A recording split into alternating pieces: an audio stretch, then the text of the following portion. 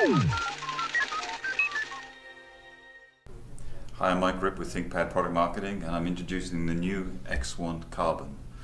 So the new X1 Carbon, it's the fourth generation. It's a slightly um, redesign. Um, comes in FHD and Quad HD panels, uh, both 300 nit IPS with 72% uh, color gamut. Very, very light, only 2.6 pounds now, so uh, great weight. Uh, thin as well, 16.45 millimeters thin, as you can see. Super, super thin.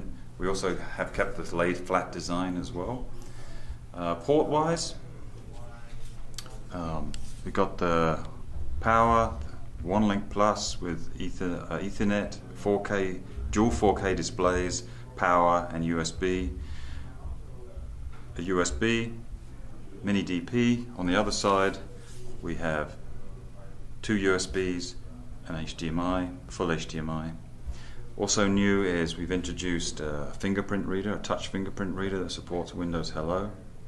And on the back, you've got the micro SD slot and the SIM card. Spec wise, we support up to an i7 CPU with a vPro option, up to 16 gig of RAM, and up to one terabyte of SSD NVMe PCIe, so the fastest uh, SSDs you can get in the market today. So this is the new ThinkPad X1 Carbon.